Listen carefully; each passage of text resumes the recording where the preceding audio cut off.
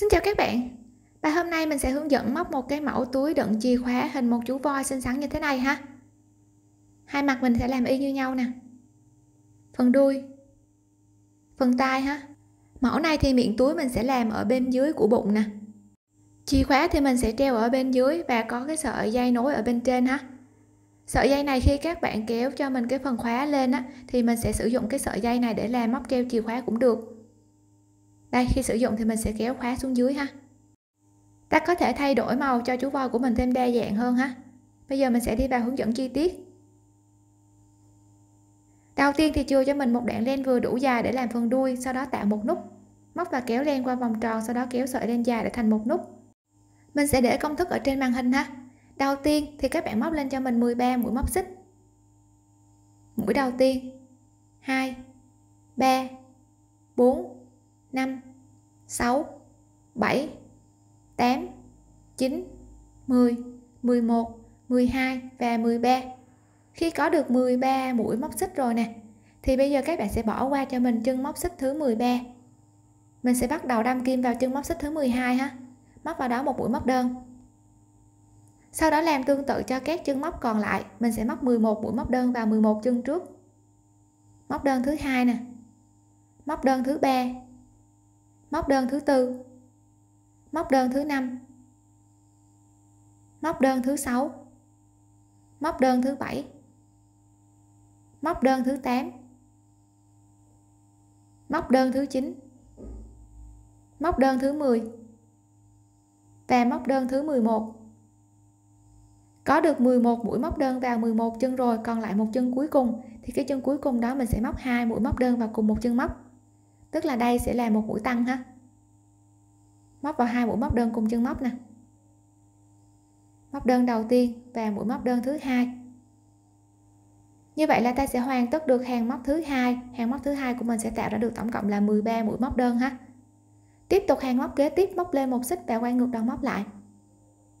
Ở hàng móc thứ ba này nè, thì hàng móc thứ ba này mình có 13 chân của hàng thứ hai. Thì 13 chân đó, chân đầu tiên móc hai mũi móc đơn cùng chân móc đây sẽ là chân đầu tiên ha. Hai mũi móc đơn cùng chân móc.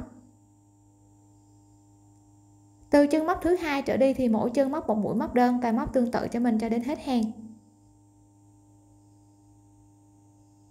Mỗi chân ta sẽ móc một mũi móc đơn ha.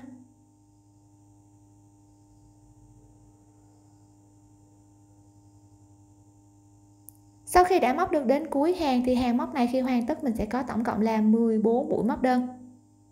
14 mũi móc đơn này sẽ tạo ra 14 chân móc cho hàng móc kế tiếp ha. Hàng kế tiếp tiếp tục móc lên một mũi móc xích và quay ngược đầu móc lại. Thì 14 mũi của hàng thứ ba sẽ tạo ra 14 chân cho hàng thứ tư. Hàng thứ tư này móc cho mình mỗi chân là một mũi móc đơn. Các bạn sẽ móc cho mình cho đến chân móc cuối cùng.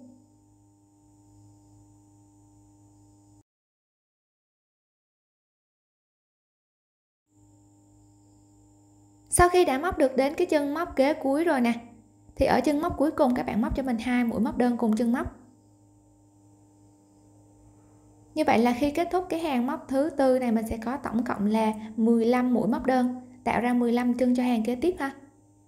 Tiếp tục móc lên cho mình một mũi móc xích và quay ngược đầu móc lại.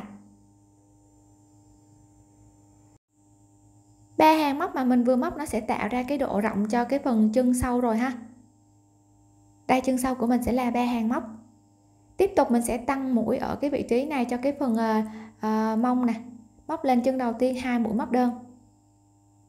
Sau đó các bạn tiếp tục móc cho các cái chân móc còn lại mỗi chân là một mũi móc đơn. Mình sẽ chừa ra bốn chân móc cuối cùng ha.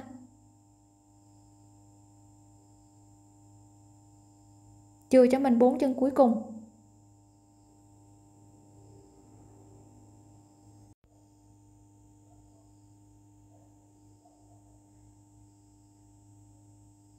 Khi móc đến đây rồi nè, mình chừa ra bốn cái chân móc cuối cùng.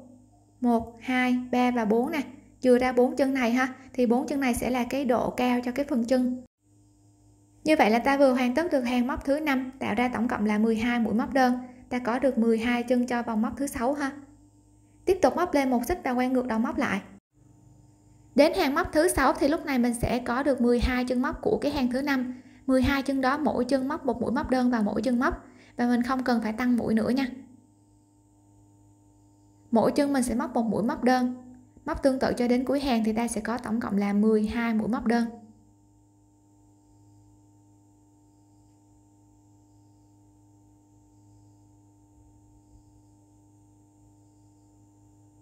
Sau khi hoàn tất được cái hàng móc thứ sáu, tạo ra 12 mũi móc đơn, ta sẽ có 12 chân cho hàng móc thứ bảy.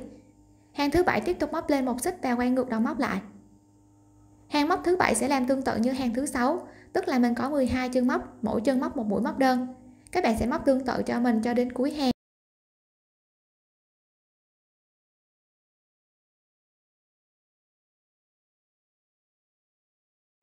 khi móc đến cuối hàng thì hàng thứ 8 cũng làm tương tự như hàng thứ 7, ta có được 12 mũi móc đơn và 12 chân ha. Mình sẽ gặp nhau ở hàng thứ 9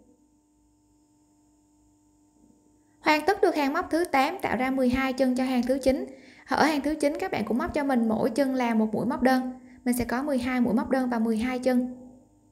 Mũi đầu tiên, mũi thứ hai, mũi thứ ba, mũi thứ tư.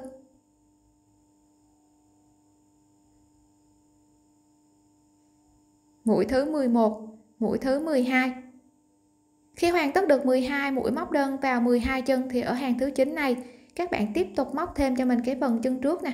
Từ đây mình sẽ móc lên là 5 mũi móc xích ha. Ta hoàn tất được hàng móc thứ 9 hàng móc thứ 9 sẽ tạo ra được tổng cộng là 16 chân móc cho hàng thứ 10 quay ngược đầu móc lại. Thì hàng thứ 10 lúc này mình có 5 mũi móc xích đầu tiên nè. Thì 5 mũi đó bỏ qua chân đầu tiên, móc vào chân thứ hai một mũi móc đơn. Chân thứ ba móc một mũi móc đơn chân thứ tư móc một mũi móc đơn. Và chân thứ năm móc một mũi móc đơn. Lúc này mình sẽ có được 4 mũi móc đơn vào 4 chân, thì kích thước 4 mũi này nó sẽ bằng với kích thước 4 mũi của phần chân sau mà mình bỏ qua ở đây nè. 4 mũi ha, có được cái chiều bao bằng nhau rồi. Thì còn lại 12 chân móc. 12 chân này mỗi chân móc một mũi móc đơn. Các bạn sẽ móc cho đến hết hàng.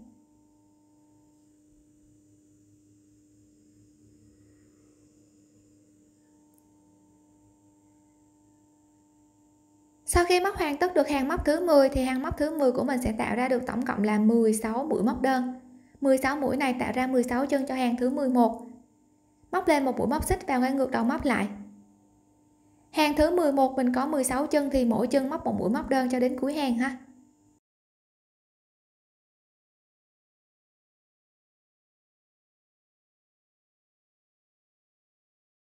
Móc tương tự cho đến cuối.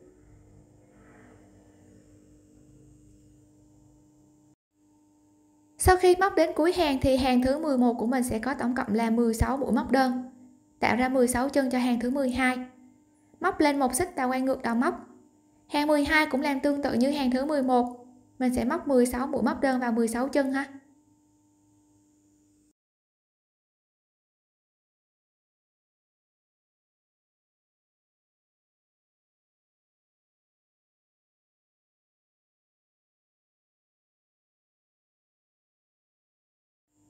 Hoàn tất được hàng thứ 12 ta sẽ có được tổng cộng là 16 mũi móc đơn. Lúc này cái phần chân trước của mình cũng có 3 hàng móc, bằng với kích thước của phần chân sau 3 hàng móc rồi nè. Thì bây giờ mình sẽ tạo cái phần đầu ở bên trên ha. Móc lên một xích và quay ngược đầu móc. Phần đầu là cái phần này nè. Thì đây sẽ là hàng 13 ha. Hàng thứ 13 các bạn sẽ móc cho mình chân đầu tiên một mũi móc đơn. Sau đó mình làm tương tự cho các chân móc còn lại và các bạn sẽ chừa cho mình 5 chân móc cuối cùng nha chừa ra 5 chân cuối cùng nè. Mũi thứ tư. Mũi thứ năm. Mũi thứ sáu. Mũi thứ bảy. Móc đơn thứ 8 móc đơn thứ 9 móc đơn thứ 10 và móc đơn 11 móc được 11 mũi móc đơn chừa ra 5 chân móc cuối cùng, ta sẽ có được kích thước của cái phần đầu. Và cái phần đầu này nè, khi so với cái chiều cao của phần chân á nó sẽ cao hơn so với cái phần bụng của mình tầm khoảng một mũi móc ở đây ha. Như vậy là hàng thứ 13 của mình sẽ có tổng cộng là 11 mũi móc đơn. Móc lên một mũi móc xích và quay ngược đầu móc lại. Hàng thứ 14 lúc này mình sẽ có tổng cộng là 11 chân của hàng thứ 13 thì hàng thứ 14 móc đều, mỗi chân một mũi móc đơn ha. Ta sẽ có 11 mũi móc đơn và 11 chân. Hoàn tất được hàng thứ 14 rồi nè tiếp tục móc lên một mũi móc xích và quay ngược đầu móc. Hàng thứ 15 mình sẽ giảm mũi tạo cái phần đầu. Thì thay vì chụm mũi, mình sẽ không chụm mũi mà bỏ qua chân đầu tiên, móc vào chân thứ hai một mũi móc đơn. Như vậy là ở đây mình đã giảm đi được một mũi ha. Các chân còn lại thì móc mỗi chân một mũi móc đơn cho đến cuối hàng. Mình có móc đơn thứ hai, móc đơn thứ ba, móc đơn thứ tư, móc đơn thứ năm, móc đơn thứ sáu móc đơn thứ bảy. Móc đơn thứ 8 móc đơn thứ 9 móc đơn thứ 10 khi hoàn tất được 10 mũi móc đơn vào 10 cái chân móc rồi, thì lúc này từ vị trí này các bạn tiếp tục tạo cho mình cái phần vòi ha. Phần vòi thì móc lên cho mình 5 mũi móc xích bằng với 5 mũi mà mình bỏ qua ở phần chân trước. Để cho cái phần vòi nó bằng với phần chân sau ha. Móc lên cho mình 5 mũi móc xích nè. Năm mũi này nó bằng với kích thước của cái chân trước rồi nè. Móc tiếp lên một mũi móc xích. Như vậy là ở hàng móc thứ 15 của mình sẽ tạo ra tổng cộng là 15 chân móc ha 15 chân này tiếp tục quay ngược đầu móc. Ở hàng móc thứ 16 thì mình sẽ bỏ qua cái chân móc xích đầu tiên, móc vào chân móc xích thứ hai một mũi móc đơn. Chân thứ ba một mũi móc đơn. Chân thứ tư một mũi móc đơn. Chân thứ năm một mũi móc đơn chân thứ sáu, một mũi móc đơn. Như vậy là ở đây mình sẽ có tổng cộng là 5 mũi móc đơn. Còn lại 10 chân móc thì mỗi chân móc một mũi móc đơn. Các bạn chừa cho mình hai chân móc cuối cùng nha.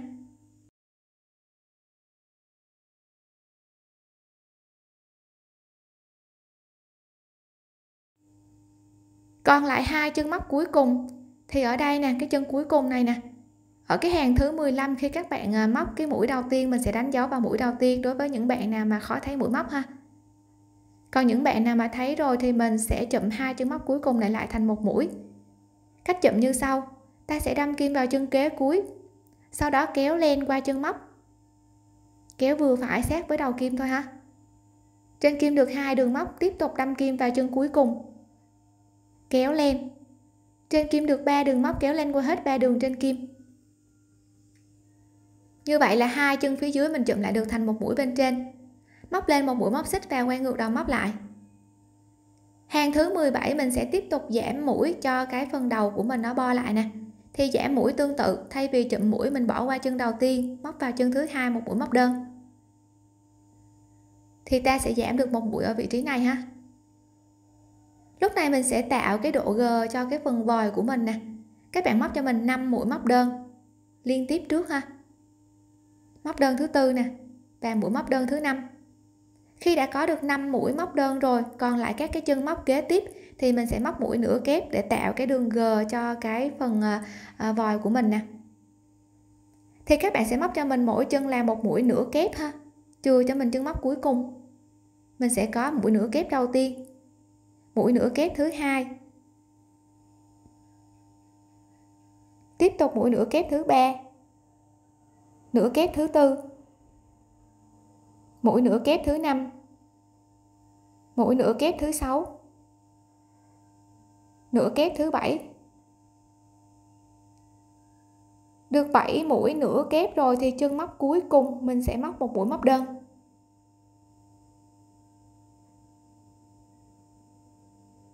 Móc lên một mũi móc xích, kéo và cắt len ta sẽ hoàn tất được form của chú voi như thế này ha.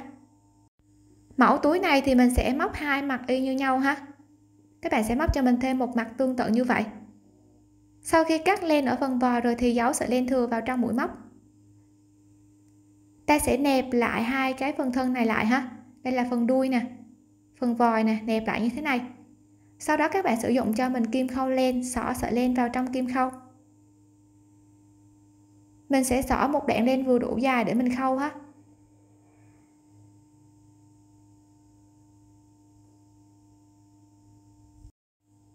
Lấy cho mình một mặt trước ha. Theo cái vị trí như thế này, thì đây sẽ là vòi, đây sẽ là chân trước và chân sau. Mình sẽ giống từ phần chân trước, hàng móc cuối cùng của phần chân trước. Các bạn sẽ giấu cho mình sợi len thừa vào trong các cái mũi móc giấu một đoạn ha. Sau đó để cho cái sợi len của mình nó không có bị tuột á, lùi về một đường móc. Sau đó tiếp tục giấu len.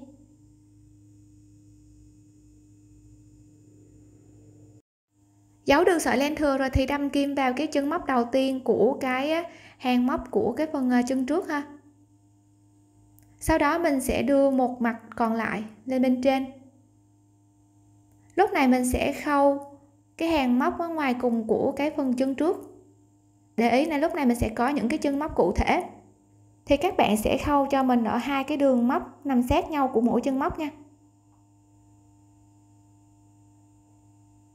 Khâu chân đầu tiên nè, và làm tương tự cho mình cho các chân còn lại ha. Mình có 5 chân. Chân thứ hai nè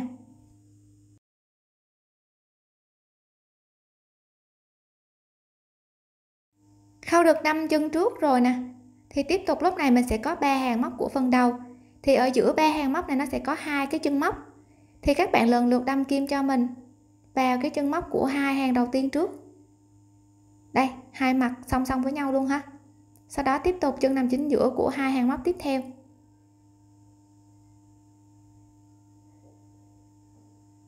Tiếp tục di chuyển kim đến phần vòi. Thì lúc này các cái chân móc của phần vòi ở bên mặt mà mình đang móc nè nó là những cái chân móc xích, thì mình cứ đâm kim vào hai chân móc xích tương ứng với nhau, và mình sẽ khâu lại ha. Mình sẽ có 5 đường khâu.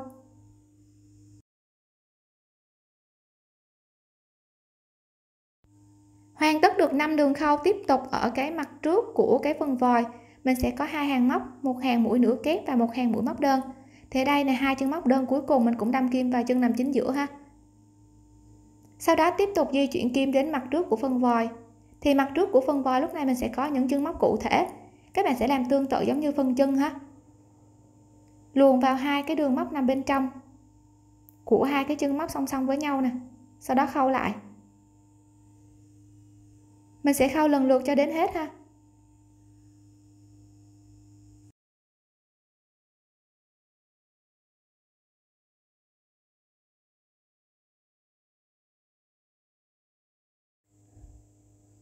Sau khi đã khâu được đến cái chân móc cuối cùng của cái phần vòi rồi nè, thì lúc này ở cái phần lưng bên trên, thì phần lưng mình sẽ không có những chân móc cụ thể như cái phần vòi, mà các bạn sẽ thấy cho mình mình sẽ có những chân móc của những hàng móc ha.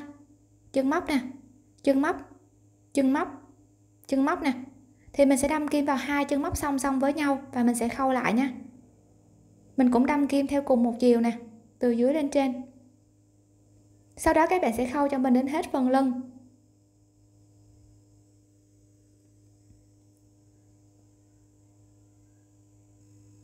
Khâu đến hết phần lưng thì mình tiếp tục khâu ở cái phần chân sau ha. Từ phần đuôi đi xuống nè, có những cái chân móc mũi móc xích ha. Ta cũng đâm kim vào hai chân móc song song với nhau. Sau khi khâu được đến chân móc cuối cùng của cái phần chân sau rồi nè, thì ở cái chân cuối cùng các bạn tiếp tục đâm kim thêm một lần nữa để mình cố định lại được cái đường mà mình khâu ha. Sau đó giấu sợi len thừa vào trong các cái mũi móc.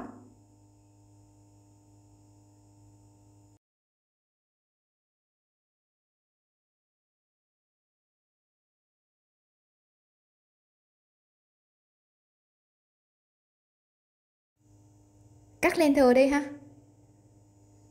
Thì như vậy là mình sẽ hoàn tất được phần thân túi. Miệng túi nó sẽ nằm ở giữa hai chân trước và sau nè. Đây là phần đuôi ha. Và đây là phần miệng túi nè. Ở hai chân trước và sau. Nó sẽ có một cái khoảng như thế này ha. Đây là miệng túi. Tiếp tục bây giờ mình sẽ móc cái phần tay phần tay tạo cho mình một vòng tròn. Móc và kéo lên qua vòng tròn giữ nguyên vị trí móc lên một mũi móc xích. Móc vào vòng tròn ta vừa tạo là 4 mũi móc đơn. Móc đơn đầu tiên. Móc đơn thứ hai. Móc đơn thứ ba. Móc đơn thứ tư. Hoàn tất được 4 mũi móc đơn, nắm sợi dây ngắn guốc lại cho vòng tròn nhỏ lại. Sau đó móc lên một mũi móc xích và quay ngược đầu móc.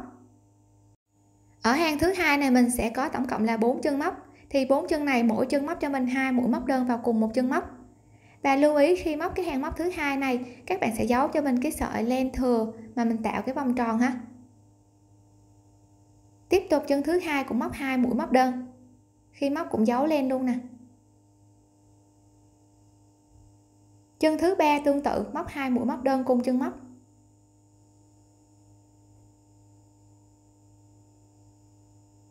Và chân thứ tư là chân cuối cùng cũng móc hai mũi móc đơn ha cũng giấu sợi len thừa luôn nè.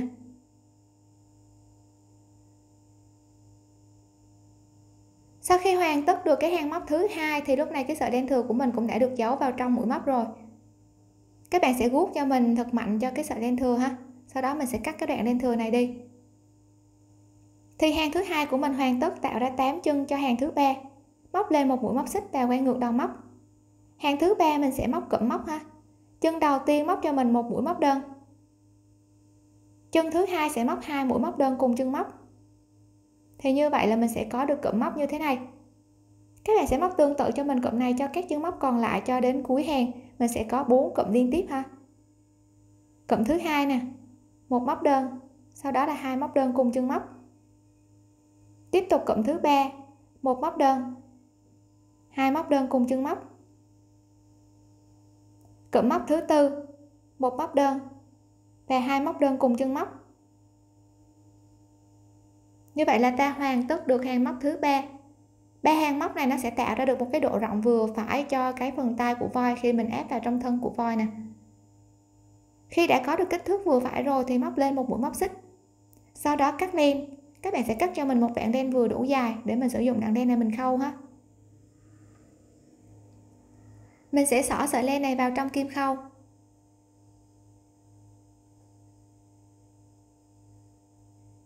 Để khâu cái phần tay này vào trong thân voi á, các bạn sẽ giống thẳng cho mình đây là ở cái phần vòi nè.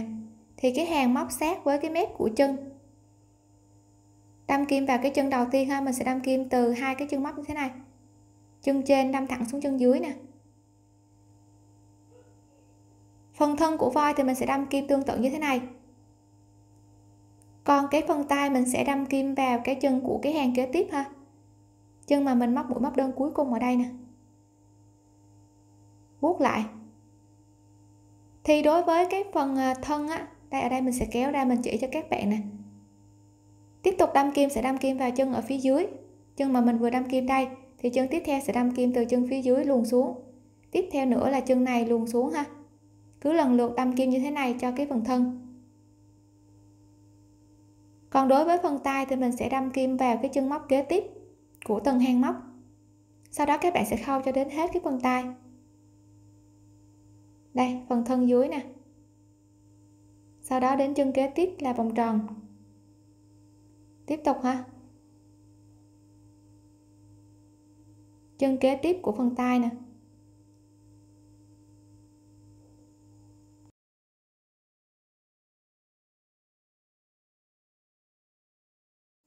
Khâu hoàn tất được đến chân móc cuối cùng rồi thì mình sẽ giấu sợi len thừa vào cái hàng móc sát với cái phần mà mình khâu tay ha.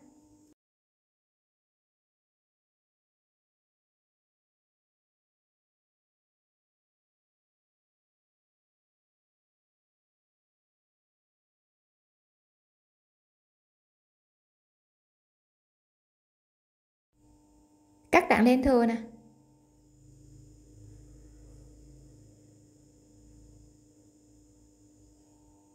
Như vậy là ta sẽ khâu được cái phần tay vào một bên rồi, thì phần tay còn lại các bạn cũng khâu tương tự. Hai phần tay của mình nó sẽ song song với nhau như thế này ha. Tiếp tục mình sẽ móc cái phần dây. Tạo một vòng tròn. Móc và kéo len qua vòng tròn. Móc lên một mũi móc xích móc vào vòng tròn ta vừa tạo 6 mũi móc đơn. Móc đơn đầu tiên. Móc đơn thứ hai. Móc đơn thứ ba. Móc đơn thứ tư. Móc đơn thứ năm. Móc đơn thứ sáu. Nắm sợi đen ngắn guốc lại cho vòng tròn nhỏ lại. Đâm kim vào chân mũi móc đơn đầu tiên móc một mũi dời.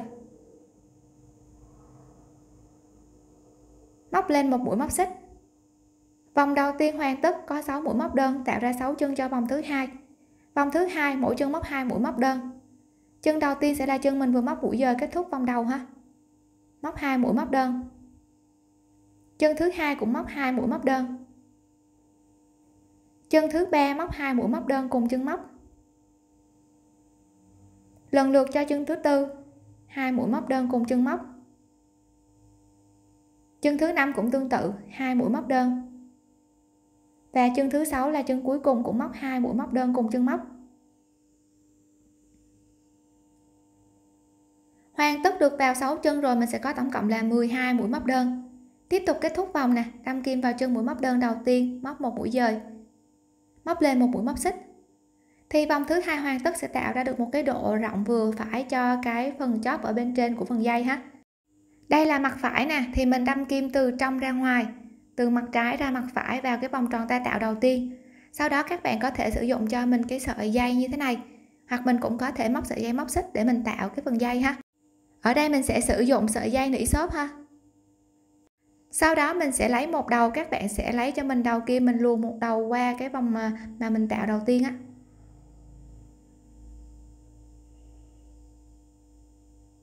Sau đó tiếp tục đâm kim theo vị trí ban đầu và mình tiếp tục à, luồn cái đầu còn lại vào luôn ha.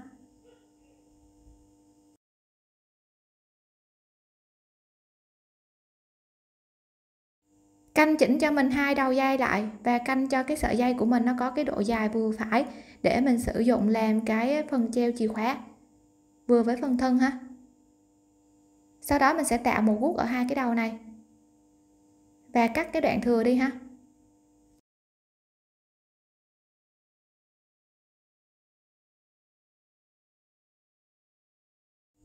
Kéo sát lại nè. Cắt luôn cho mình cái đoạn len thừa của vòng tròn.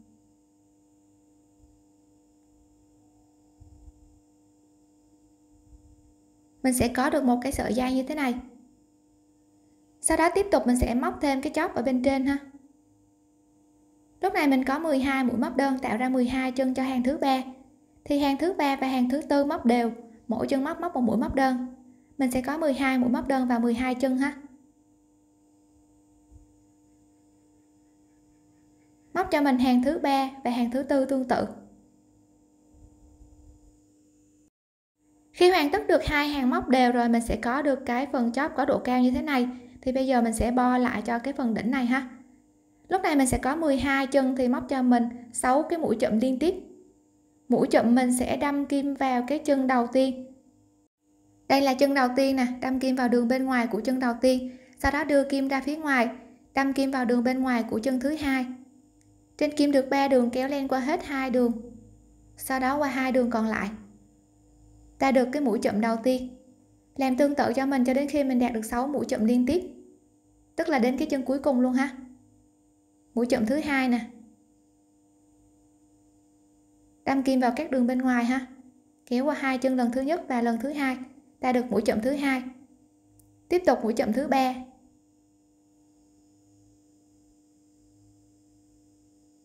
Mũi chậm thứ tư.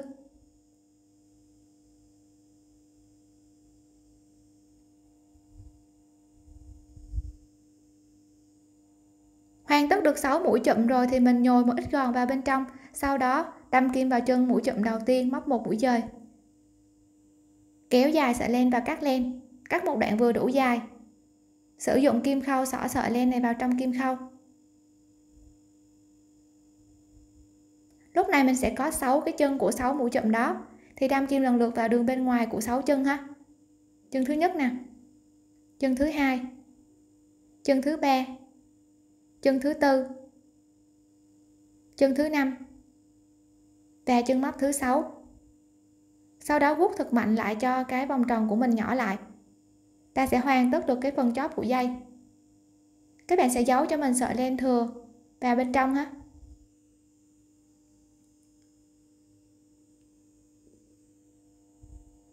Sau đó cắt cái đoạn len thừa đi. Như vậy là ta sẽ có được cái phần chóp như thế này. Và có cái sợi dây ở phía dưới ha. Sử dụng cho mình kim móc mình sẽ luồn vào trong cái phần miệng của túi nè. Đây là phần miệng túi ha. Đâm kim từ trong ra ngoài vào cái chân móc nằm chính giữa của cái phần ờ, lưng á. Sau đó mình sẽ kéo cái đầu dây qua cái chân móc này.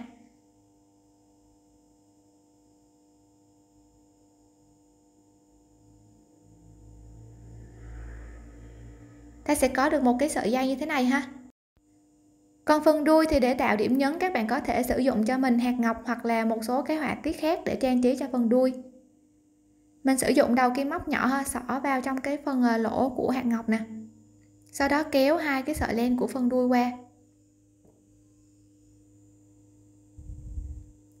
Canh một đoạn vừa đủ ha. Sau đó sẽ gút lại một đầu để mình cố định cái hạt ngọc.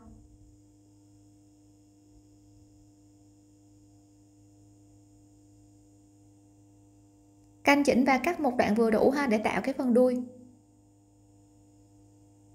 Như vậy là ta sẽ hoàn tất được cái phần đuôi nè. Để có thể gắn được chìa khóa ở bên dưới thì các bạn sẽ sử dụng cho mình cái đầu lỗ của chìa khóa nè. Mình sẽ luồn cái đầu dây này vào. Kéo lên một đoạn vừa đủ.